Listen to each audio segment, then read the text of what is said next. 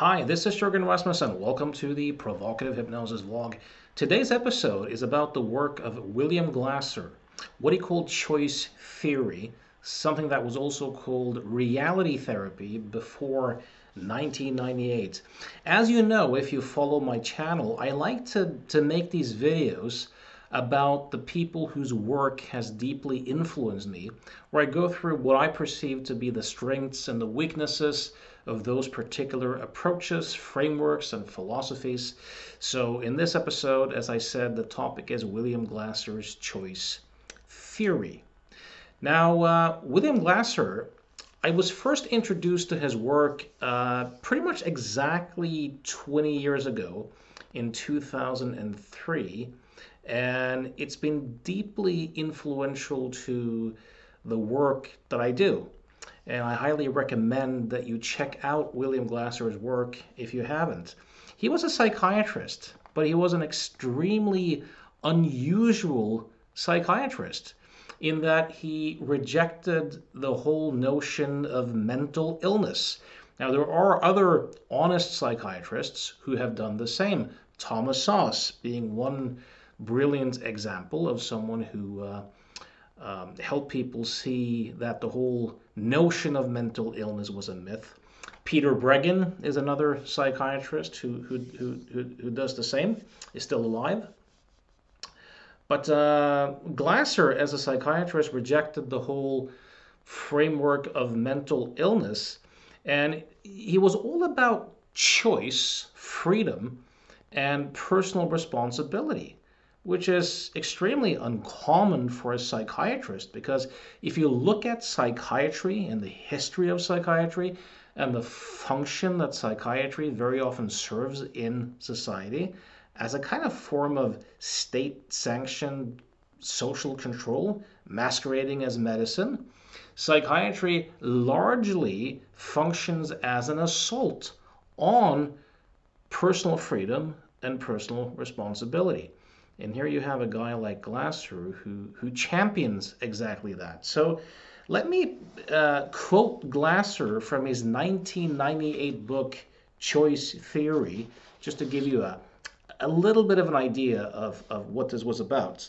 So, so here it goes. Suppose you could ask all the people in the world who are not hungry, sick, or poor, people who seem to have a lot to live for, to give you an honest answer to the question, How are you? Millions would say, I'm miserable.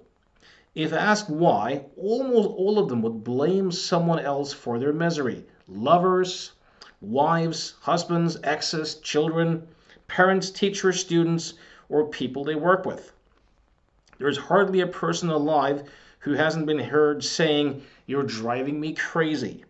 That really upsets me. Don't you have any consideration for how I feel? You make me so mad I can't see straight. It never crosses their minds that they are choosing the misery that they are complaining about. Choice theory explained that for all practical purposes, we choose everything we do, including the misery we feel. Other people can neither make us miserable nor make us happy all we can get from them or give to them is information. But by itself, information cannot make us do or feel anything. It goes into our brains where we process it and then decide what to do.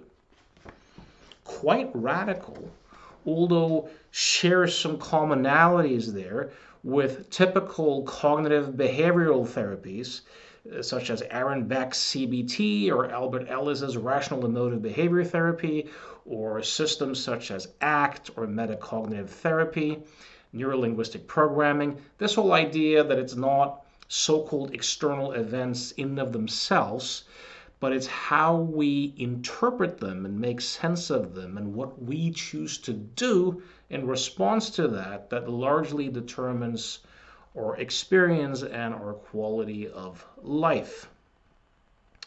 So Glasser's one of Glasser's big things was that he once again he, he rejected the whole mental illness frame. So even though he worked as a psychiatrist, he did not accept the patient role or him being a therapist role. He, he rejected the idea that people who have these mental illness diagnoses are sick in any literal way.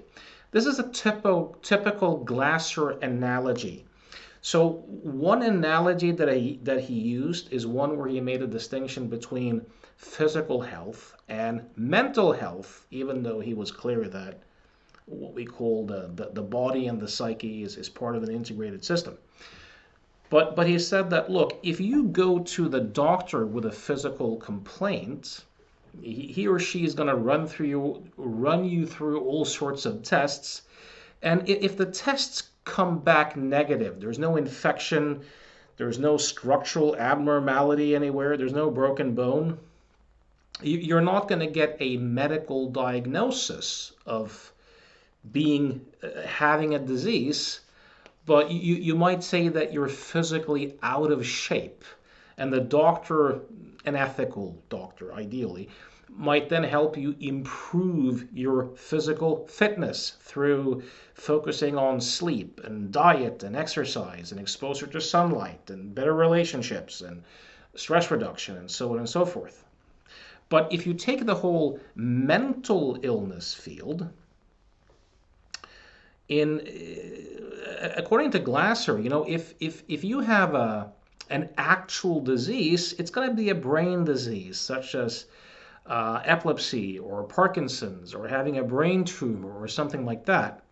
But if the physician can't find any brain pathology, but you're unhappy and you have symptoms, you then get labeled as so called mentally ill and told that you have an, an illness just like a physical illness and, and that you need to be treated. And, and, there's often not that much you can do for yourself. You're essentially a victim of circumstance or brain chemistry or, or, or faulty genetics.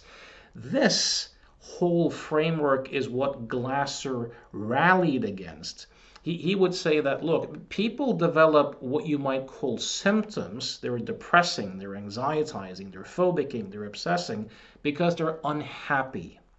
And they're unhappy because they're basically irresponsible and the way they they try to achieve their perceived needs is not working well for them.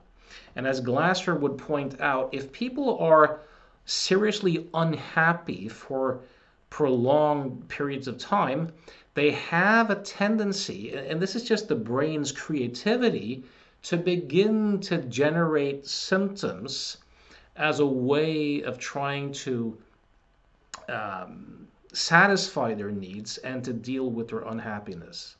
So, the role then of the choice theory practitioner is to help people to essentially see that they are choosing this and to make better choices in terms of satisfying their needs.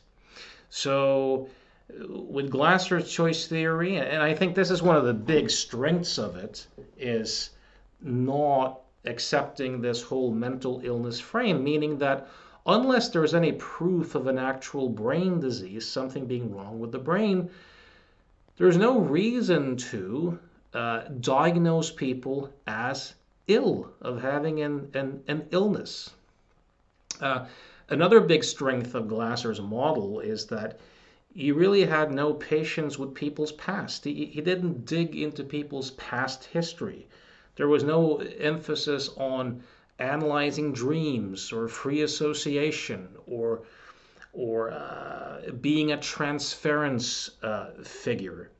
Uh, his role as a therapist would be to help people to, again, as I said, become more responsible, help them see how they're choosing their misery, and helping them to develop better choices. So his way of working was very present oriented and very future um, oriented. Now, the, the heart of Glasser's work is that he, he, he was very relationship oriented. He, he believed that our, our unhappiness was mostly, and he was kind of extreme on this one, and but but was mostly associated with our our lack of good relationships. And uh, he attributed our relationship issues to the fact that most of us seem to use something that Glasser called external control psychology. And if you look around you, you'll, you'll, be able to verify this for yourself. And, and the whole basis of external control psychology rests on three, three kind of implicit beliefs. One being that you can make me feel. You know, it, it's what you say, it's what you do that, that, that, that kind of makes me feel unhappy or happy. The second kind of implicit belief is that, you know, I can I can control you. You know, I can make you happy or I can make you miserable.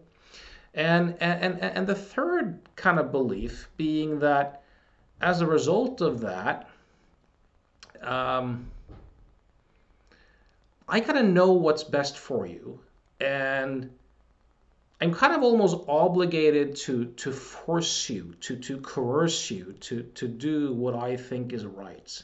And you'll, you'll see this in marriages, you'll see this in relationships that, that, that, that people have a tendency to, to use what Glasser called the deadly habits of external control psychology criticizing, nagging, blaming, uh, rewarding, kind of like rewarding people as a dog when, when, when they do what you want them to do, threatening, creating drama, these sorts of things. And Glasser would emphasize how the use of external control psychology tends to kill intimacy and trust and ruin relationships. And then people kind of have a tendency to increase their use of external control. And, and he would do his best to help people see this, to, to, to see how this external control psychology actually does not lead to richer relationships and to replace it with these more supportive habits of listening, supporting, respecting, encouraging, uh, negotiating differences, you know, these, these sorts of things. Um, see what else we have here.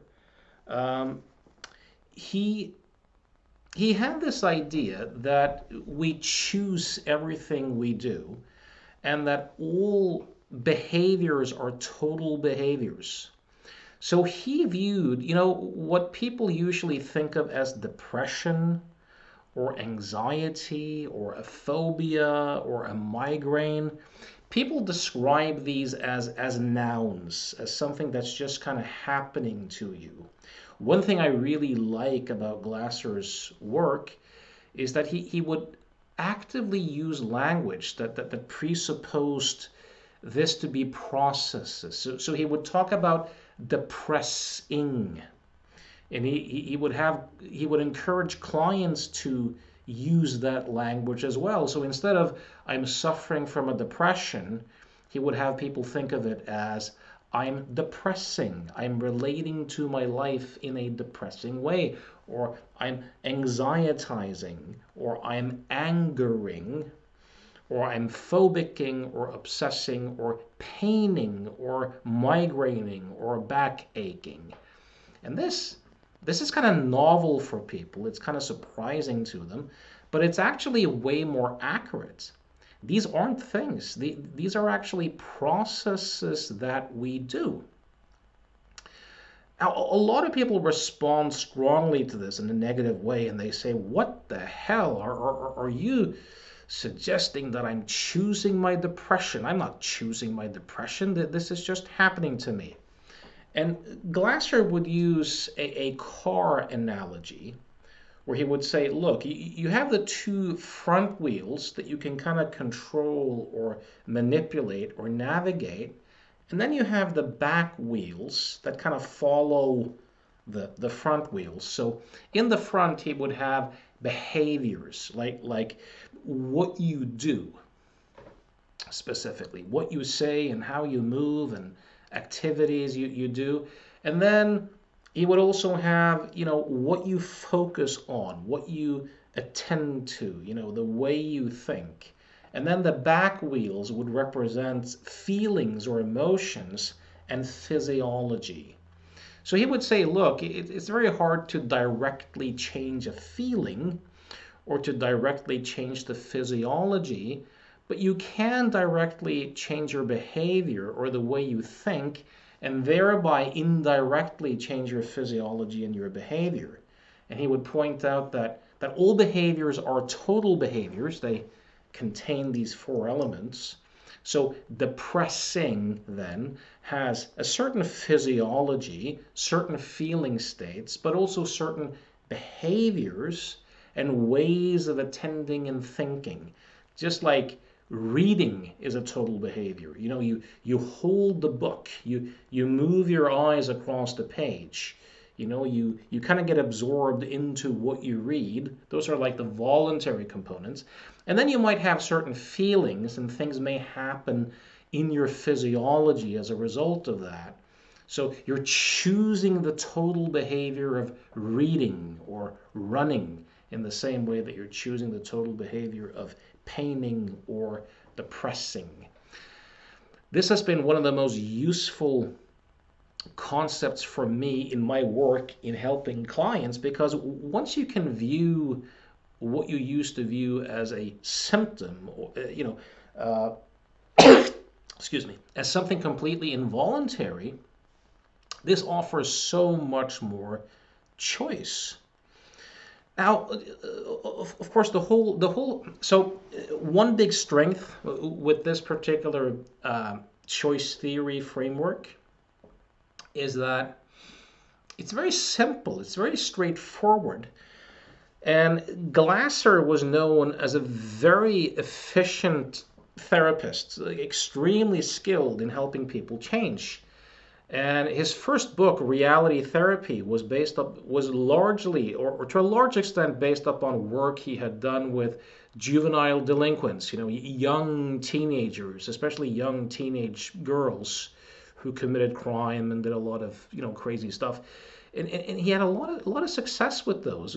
Just teaching them a better philosophy of life, focusing on choice and responsibility and holding them accountable and and teaching them better ways to uh, satisfy their perceived needs. And I've had quite a few successes as well, even though I don't prefer to work with teenagers, but working with teenagers and young adults who may be depressing and anxietizing and phobicing and doing chronic fatiguing and chronic paining you know, many of them aren't that psychologically oriented yet. Their their ability to self-reflect and, and, and to see themselves as storytellers and, and stuff like that, uh, and to be and to have a lot of responsibility might be limited. So it, it might be tricky to try to get too philosophical or too psychological. But by focusing on behavior, but, but by helping a young person to see that, wait a minute, you're choosing the total behavior of depressing. There's things you're doing, ways you're attending, and there's feelings, and there's physiology. So I, I with a young person who's depressing, for example, I might have them look at these typical behaviors such as or are you are you moving your body on a daily basis like your your ratio of being active versus being passive are you prioritizing sleep? Or are you getting sunlight? Or are you doing something social? Or are you doing something altruistic? I'll, I'll task them with different behaviors and different ways of attending and intending and focusing and have them noticing how these choices influence their feelings and their physiology, for example. Um, so this has been extremely useful. Now, according to Glasser, people do what they do to satisfy their their needs. And, and according to glasser and choice theory uh, we have five needs uh, which which glasser thought of as survival uh, love and can, love and belonging uh, which he kind of really emphasized uh, fun freedom and power. Now is this completely correct, like from a scientific perspective? Probably not. You know, it's the same way same you know a, a, lot of people have these needs models you know you, you have tony robbins for example with his uh, six human needs where, where he talked about uh, the needs for certainty and, and uncertainty variety um, significance love and connection growth and contribution you know you, you have other theorists who have different uh, takes so is is this completely accurate? Probably not. But is he on to something? Like, is there something to it? Is there some use in it if you don't take it too literally? Yeah, it kind of is. You know, although some people might say that no, I have a, you know, I, I have a need for for meaning, or I have a need for aesthetic beauty, or passionate sex, or. Uh, um, authenticity or honesty or you know people might now so I, I think one weakness in glasser's approach here is claiming this as true with a capital T and and also calling these things for needs you know, one of the great uh, things that Albert Ellis used to emphasize, and uh, the one way he really helped his clients, was to help them take their perceived needs, their musts and needs and shoulds, and, and, and turn them into these preferences. Uh, you know, there, there's a world of difference between thinking that you want something or thinking that you therefore need it or must have it. So this is one of the things from Glasser that I don't tend to use or, or emphasize. I, I emphasize these things more as more as preferences. But but he's on to something. Like there's there's something to it. And his model then is that when, when people fail to, to satisfy these needs, they become unhappy. And if they're unhappy long enough, uh, they may develop symptoms as a way of trying to achieve these needs or dealing with the lack of satisfying these needs. And this, once again, often provokes a lot of people.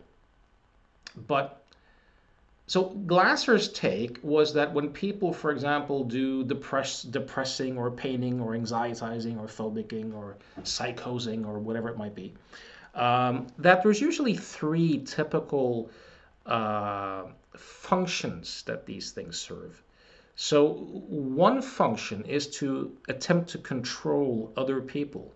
And if you're not, you know, if you're willing to not be politically correct and you can be honest, this is a very typical one. A, a lot of people use their symptoms as ways of attempting to attempting to control other people's behaviors and and to to call clients out on that, to to have them consider that and contemplate that and notice that uh, often provokes the crap out of people, but it, it's extremely useful and liberating. Um, a, another typical function it serves is to reduce their own frustration. So you, you might have the single friend who you try to you know, hook up on a date and the person says, Yeah, I know I should be social, but I'm too depressed right now. So they're kind of saying, in a sense, that look, I, I can deal with my current levels of frustration, but, but, but dealing with more rejection or social failure, that's too much. So I kind of prefer this. So, as a way of not increasing their own frustration levels, and another one being to suppress an emotion. So Glasser was of the opinion, for example, that if we didn't have the capacity to depress, that murder rates and, and, and rates of violence would be way higher. That sometimes people will kind of repress their own anger with depressing. Uh, and this is also something I think is, is, is very true and very often the case.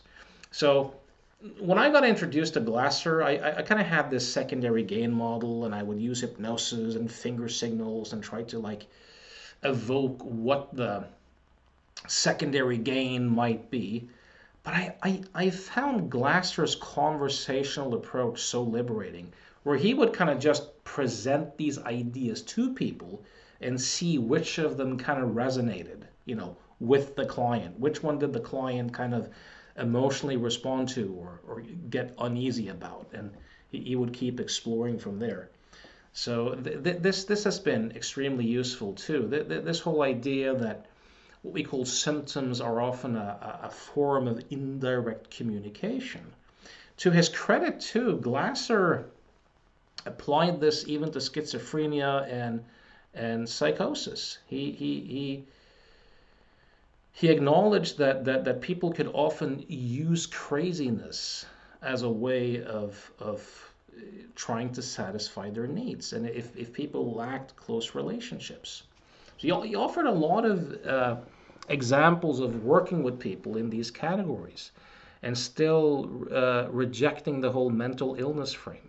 He has this uh, very interesting story of uh, working on a psychiatric ward, and th- th- there was this very psychotic uh, client there who who was screaming, "There's a monkey on my back! Get that fucking monkey off my bat back!" And he'd be batshit crazy and be abusive and yell at the doctors and and and and, and then one day he, he he called Glasser in and he said, "Look, there's there's something wrong with me." And it turned out he had tuberculosis, so he, he, he was walked to the medical ward where he got medical treatment for his tuberculosis. And the people in the medical ward were like, "What's he doing in psychiatry? He's the nicest, kindest, you know, guy you can meet. He's completely rational. He's lucid. His his he acted completely uh, normal when he was on the medical ward and got what he wanted. And then, as soon as he as he was back in the psychiatric ward, the the the monkey was back on on his back again. So Glasser, you know, Milton Erickson, who kind of accepted the whole mental illness frame, he had a strong emphasis on kind of pacing and leading people's realities. Glasser had a very, and of course, Milton was very much into behavioral tasks and hypnosis and, and techniques, um, utilization. Glasser was kind of the opposite. Didn't really have any techniques. He, he just did conversations with people which for me was something of a mindfuck at the time when I got introduced to him because I was so into the NLP and hypnosis world where everything was about techniques and and and here you have this guy who's who's just supremely effective, but he's just kind of educating people and having conversations with them. So that kind of blew my blew my mind as well. But but but Glasser would essentially not respond to their craziness. He he would respond to their normal behavior and and and c- connect with them that way. Um, he also he also emphasized what you could call the mind-body connection, and as I said, emphasized that that you know paining, back aching, migraining, uh, fatiguing, that that these sorts of things. He would work with these sorts of clients too as a medical doctor and as a psychiatrist, and, and, and to view them as choices, as total behaviors. Um, he had some groups of people with rheumatoid arthritis, and according to Glasser, a lot of the patients he had in these groups with rheumatoid arthritis had remissions from the rheumatoid arthritis by learning choice theory, which to me isn't a surprise, but but for, for most people in the medical field and, and, and for, for the population at large, you know, that's that's unheard of, uh, essentially. Let's see what, what, what, what else we have here. Um, so the, those are many of many of the strengths. The weaknesses, as I said, I, I, I think this whole notion about needs is a weakness. Um, I think, uh, as I pointed out with Ellis, you know, helping people to make a, a distinction between preferences, wants, wishes, and goals, and not having them turn them into needs is extremely psychologically healthy. He was probably a bit too absolutistic about that whole needs model. Um, you know, an analogy too that he called the quality world, which was, you know, the, the, the people and things that kind of matter to you. You can kind of hold that for values. Um, th- that that might be useful. Um, I think he was a bit too relationship oriented. He, he was kind of extreme on that. So he he didn't really offer people much in terms of helping people to relate to thoughts and feelings in different ways. You know, like like uh, people might do in in rational emotive behavior therapy or metacognitive therapy or various schools of, of meditation. Uh, nothing about breathing. Um, so those are those are I think some of the uh, some of the limitations uh, of his work. I, I, I think finally I'll, I'll, go through what was the the main axioms in his in his model and just kind of offer uh, my take on these. So this is from the last chapter in choice theory, redefining your personal freedom. So the 10 axioms of choice theory. So number one here, the only person whose behavior we can control is our own. In practice, if we're willing to suffer the alternative, almost always severe punishment or death, no one can make us do anything we don't want to do. When we are threatened with punishment, whatever we do, we rarely do well. So I I kind of agree with that. And and the, uh, the, the, second one here, all we can give or get from other people is information. How we deal with that information is our, our or their choice. Now, bearing you know government coercion or someone pinning you to the floor or uh, someone assaulting you with a weapon, you know, um, in, in, the communication realm, all other people ever really do is to give us information about how they think and how things look to them. And it's how we make sense of it that ultimately determines our experience. This is a point that I strongly emphasize with, with, with clients, and Glasser was very good at, at this. Number three, all long lasting psychological problems are relationship problems.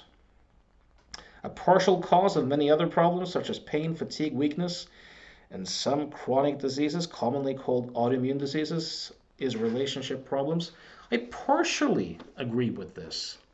So again, I think this is one of the weaknesses of Glasser's approach is, is, is this, this extreme emphasis on relationships. Even though today, scientifically, uh, it is being shown that, that quality relationships really is one of the main factors in living a happy and fulfilling life.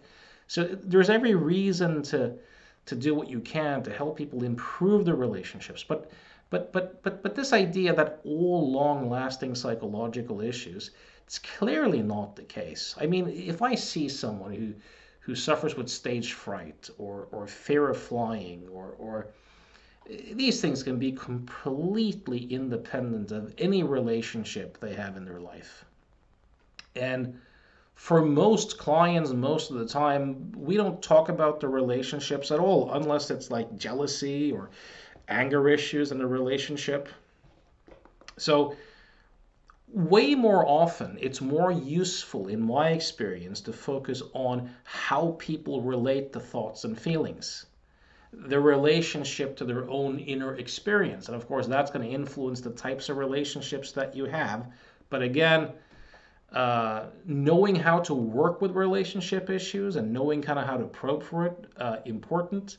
Is it is it the main thing in long-lasting psychological problems? Uh, I think not. So so I think Glasser was kind of mistaken on uh, on on that one let's see what else we have. But, but also, you know, the whole autoimmune pain, arthritis thing, I, I think there's a lot to that in, in, in my experience.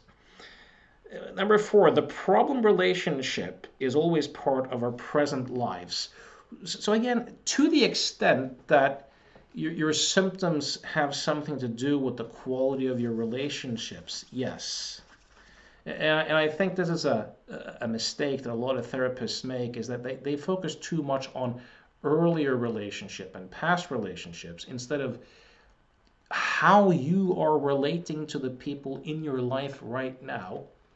And of course, there also are a lot of people who aren't that into relationships and they're completely fine with that. based upon their personality tendencies. So it is quite possible for at least quite a few people to not have that many relationships or really any relationships and, and, and still be fine. Um, number five, what happened in the past that was painful has a great deal to do with what we are today, but revisiting this painful past can contribute little or nothing to what we need to do now, improve an important present relationship. Again, I partially agree. What I tend to do is to help people to realize that the past itself is an illusion, that you don't actually experience a past or re-experience a past event, right? So, but but but self-reflection sometimes, in the sense of looking at because you may have had certain experiences or not have had certain experiences, that you might, and, and due to your own personality tendencies, that you may be likely to respond in certain ways. You know, that can be useful self uh, reflection. But, but I largely agree with him that, that focusing too much on the past and people's storytelling gets in the way way more than it's useful. Uh, six, we are driven by five genetic needs survival, love and belonging, power, freedom, and fun. These needs have to be satisfied. Again, I, I think this is one of the weaknesses of his approach. Uh, and, you know, people also vary in, you know, so you take a word like fun, you know, for, for, for one person might equate that with, with laughing or having a sense of humor. For another person, might just be play, you know, playful activity or learning something new or being intellectually curious. You know, it, so this might mean very different things to, to, to different people. But again, it can be a useful model as long as you don't take it too seriously. Um, seven, we can satisfy these needs only by satisfying a picture or pictures in our quality worlds. Of all we know, what we choose to put into our quality worlds is the most important. So, so again, it's another way of saying that, you know, unless you really care about it or it's an important value for you, it won't really resonate or hit home, which is kind of true enough. You know, this kind of presupposes a bit too much that the happiness is in the relationship or kind of comes from the relationship versus more being a, a, an inside job. Um, let's see here. Number eight, all we can do from birth to death is behave. All behavior is total behavior and is made up of four inseparable components acting, thinking, feeling, and physiology. Again, a very useful way of framing things, I think. It's way more useful to think of things in terms of now, instead of thinking of things in terms of things and nouns, to view it as processes and verbs. Um, all total behavior 9 is designated by verbs. Uh, yeah, choosing to depress or depressing instead of I'm suffering from depression or I'm depressed. Um, this is extremely useful. Uh, 10, all total behavior is chosen. We have direct control over only the acting and thinking components. We can, however, control our feelings and physiology indirectly through how we choose to act and think. So Again, quite useful. Although, if you really explore it, we don't really choose our thoughts and feelings either. It, it kind of all just emerges. But you can make a distinction between voluntary and involuntary. But this kind of free will choosing perspective, even though if, if, if not completely accurate, is way more useful than the external control victim position that that most people uh, have. So so again, Glasser, a very unusual psychiatrist, in that psychiatry is kind of an assault on personal freedom and personal responsibility. Um, Glasser championed freedom, choice, and responsibility. And if if if you want to be, he would emphasize happiness and health as kind of the ability to make good choices and, and, and create a meaningful life for yourself and, and, and to have quality, healthy relationships, right? So, so focusing on, on responsibility is uh, a great way of, of doing that. Glasser has written a bunch of books. I've read all of them except from the books he has written on education because I don't work in that uh, realm. I highly recommend this one. Warning Psychiatry can be hazardous to your mental health. This is an excellent book. Every therapist should read this. Any home should, should have this book in terms of how you raise your kids and how you. And, and then you have his kind of flagship uh, choice theory book. And there's another one I really recommend here too, and it's called Counseling with Choice Theory. This is a great book for any psychotherapist or coach, and it's it's a bunch of cases where Glasser has conversations with people who struggle with various forms of symptoms, from schizophrenia, hearing voices, to migraine headaches, to obsessing, to depressing. So, again, I, I hope this was useful. I'd love to hear your take on William Glasser's work, reality therapy and choice theory. Uh, you can email me or you can you can write write about it where you find the video. Uh, as always, know that I see clients from all over the world on Skype. If you want to work with me or see if we can be compatible as a team, you can reach me at provocativehypnosis.com.